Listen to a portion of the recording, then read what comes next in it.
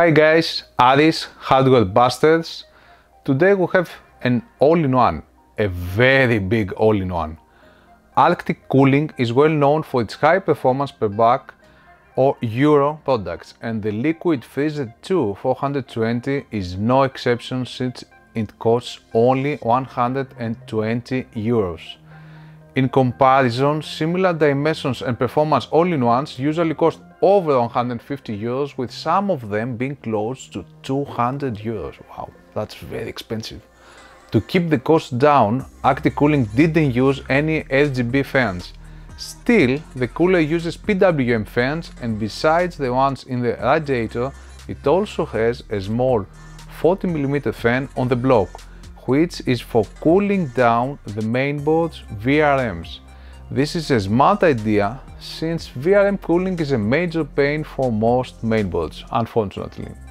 Air coolers with horizontally installed fans provide the best possible cooling for the VRMs, but uh, this design is not efficient for high thermal loads and it doesn't offer good RAM and GPU clearance and this is the worst part of it.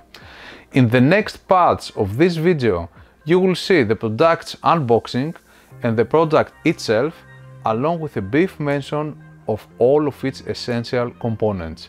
Next is the installation procedure and the last part of the video includes lots of graphs that depict how it stands against all popular all-in-ones and several high-end air coolers in both noise and thermal performance. The box is enormous, almost half a meter in length since the all-in-one's radiator is vast and the whole package weighs 2.7 kilos. Yeah, that's too much. The bundle includes all the necessary screws and brackets to install the fans and mount the block onto a mainboard. All popular sockets from both AMD and Intel are supported. In the bundle you will also find a small packet with MX4 thermal compound. This is the thermal paste that we use in all of our cooling measurements. Finally, no physical manual is provided but a QR code is given instead, which once scanned leads to the web-based installation manual. A look at the Liquid Freezer 2 420. This is a massive cooler and with excellent cable management since only one cable is used to control all three fans the smaller fan on the block and the pump. Everything is PWM controlled and although I like the single cable approach very much, I would still like the pump's operation not to be tied to the radiator fans operation. The block's space design catches the eye, but unfortunately it doesn't feature any fancy RGB lighting.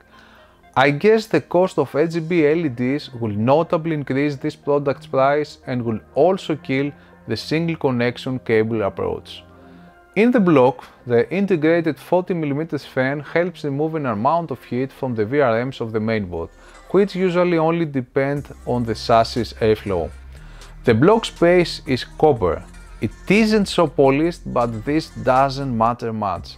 Don't forget to remove the plastic label before you install the cooler. The pump is inside the block and can spin from 800 to 2000 RPM, while the small fan on the block spins from 1000 to 3000 RPM. Uh, their maximum combined power consumption is only 2.7 watts. The tubes have 6 mm inner diameter and their length reaches 450 mm. They are flexible enough so that they won't give you much trouble during the installation process. I like the exterior design. They look like small snakes. The radiator is made of aluminum and its footprint is enormous, so you will need a large chassis to accommodate it. It uses three Arctic P14 PWM fans with 140mm diameter. Their speed range is from 200 only to 1700 RPM. Thanks to the fluid dynamic bearings, these fans will have low noise output and high lifetime. Please keep in mind here that Arctic Cooling states the 1700 RPM, I measured uh, lower speeds in my test. Installation procedure. Installing the block on, onto a compatible mainboard socket is a straightforward procedure. We only had a slight problem installing the backplates roses since the corresponding threads are relatively short. Other than that, the rest installation steps are easy to follow and the single connection to the mainboard's header saves you from lots of trouble, especially during cable management. If you want to use stronger fans at some point, it will be better to use dedicated cables and not the single one, which could overload the 4-pin header on the mainboard. With each fan spinning at 70% of their max rated speed, the freezer outputs close to 24 dBA so it is almost inaudible. See how close it is to the Noctua NH-D15 air cooler known for its silent operation. Fan noise comparison 100% fan speed. Arctic's big all-in-one manages to get a better place than Noctua's high-end air cooler with all fans spinning at full speed. This is an impressive result and uh, take a look at how loud the rest all-in-ones are. Thermal performance with the fans at 20 dBA. Top performance here against all air coolers. Fans at 25 dBA. Top performance again with all all-in-ones into the game now. Fans at 30 dBA Third place in this chart below the excellent Corsair H150i Capellix Elite and the Noctua D15. And 100% fan speed. At full fan speed, the big Arctic all-in-one loses to several other all-in-ones and the Noctua D15 because it uses low RPM fans. With stronger fans installed, I expect it to be much closer to the top relative performance 30 dBA. With all coolers outputting 30 dBA noise output, the liquid freezer achieves third place. Its performance is excellent in this test. Relative performance at full fan speed. Hmm.